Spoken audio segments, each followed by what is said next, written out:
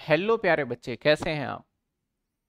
मैं सबसे पहले ये वीडियो किसके लिए बनाया जा रहा है, मैं ये बता दूँ ताकि आपका वक्त ख़राब ना हो। मुझे पता है आप बहुत मन लगा के पढ़ रहे होंगे अभी।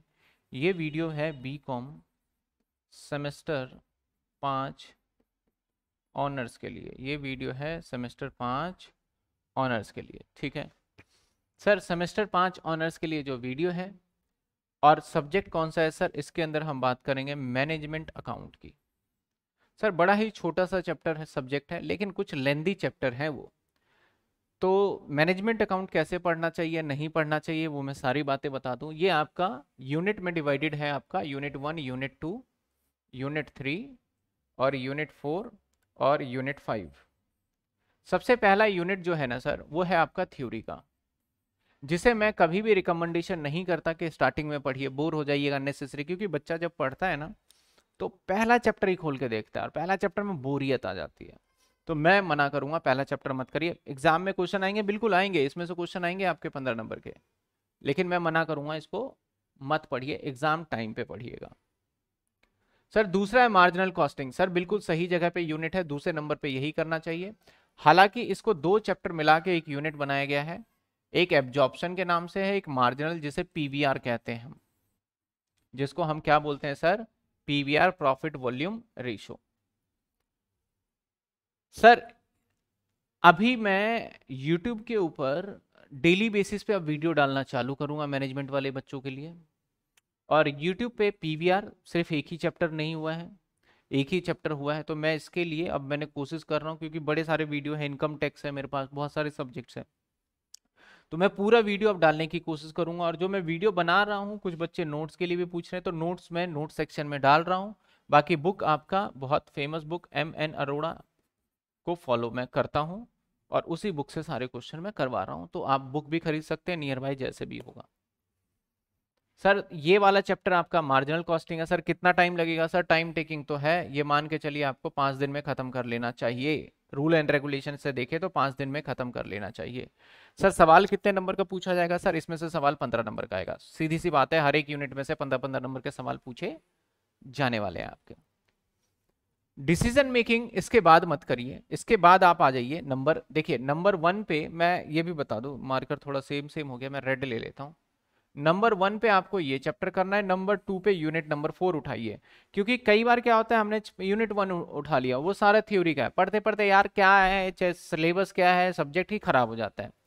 तो हम इतने दिनों से अगर हम पढ़ा रहे हैं तो हमें पता होता है कि बच्चों का दिमाग क्या है, बच्चों को माइंड में ग्रैप क्या करेगा। तो उसके हिसाब से ये चैप्टर पढ़ाओ तो ये चैप्टर जल्दी समझेगा। उसके बाद उसी के हिसाब से दूसरा चैप्टर दो तो जल्दी समझ में आएगा।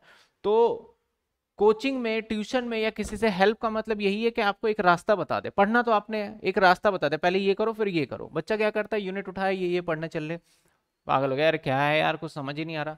तो सबसे पहले ये करना है, नंबर दो पे आपको बजटरी कंट्रोल हाँ इसके अंदर एक बहुत बड़ा चैप्टर है स्टैंडर्ड एग्ज़ाम में।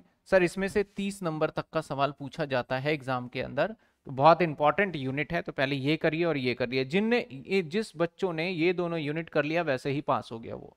कोई रोक ही नहीं सकता सर। सर, कितना टाइम लगेगा? सर, इसमें तो लगेगा टाइम आपका। इसमें टाइम मान के चलिए आप दस दिन प्लस लग जाएँगे आपके।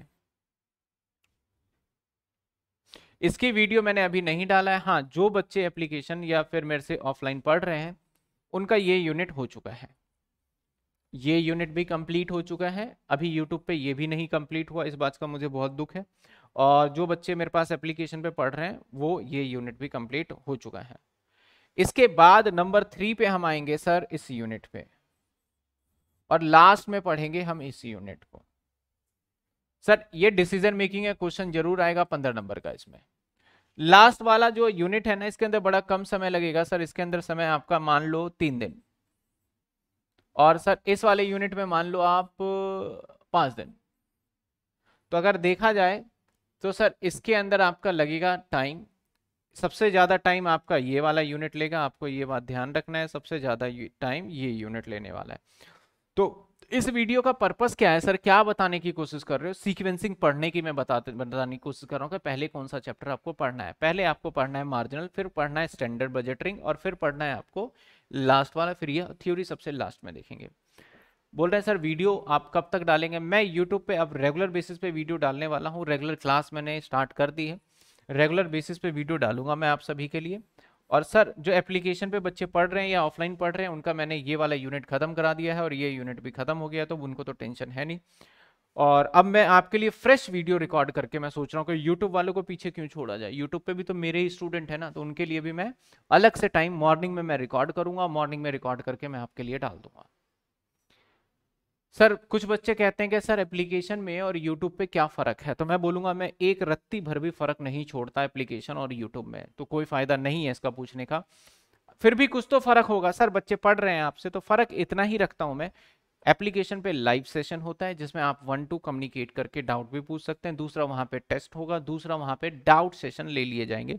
बस ये फ़र्क है, जो कि मेज़र है एक तरीके से, बहुत बड़ी बात है। देखो यूट्यूब के ऊपर टेस्ट कैसे लूँ मैं?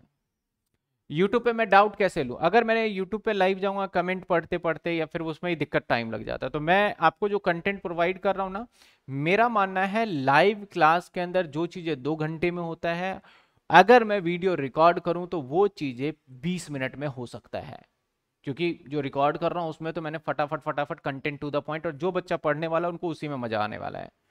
ठीक है ना? तो सर एप्लीकेशन हाँ एप्लीकेशन पे मैं जो लाइव क्लास ले रहा हूँ, उसके अंदर आप जोड़ सकते हो, दो घंटे की क्लास होती है, उसके अंदर फिर उसके अंदर से कंटेंट आपका हो जाएगा।